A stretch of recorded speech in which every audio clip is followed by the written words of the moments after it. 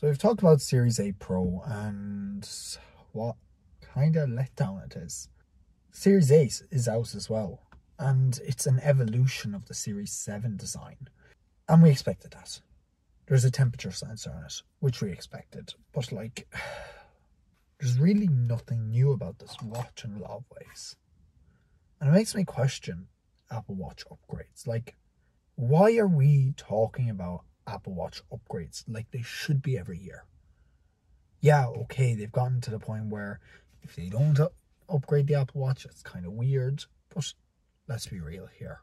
Let's be genuine about this.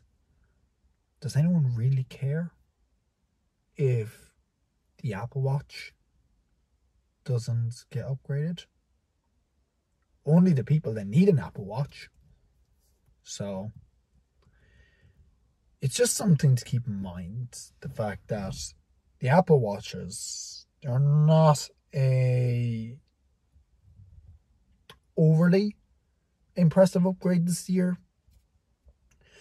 The SE is a thing as well, and it's just an evolution of what the last SE and Series 4 before that was. I'm hoping that we can see some sort of improvement overall in everything. Because here's the thing Apple Watch upgrades, they're not substantial. You might get a Series 4 upgrade or a Series 7 upgrade, maybe once every four or five years. But that's it. You're not getting substantial upgrade every single year. And that's a disappointment for some.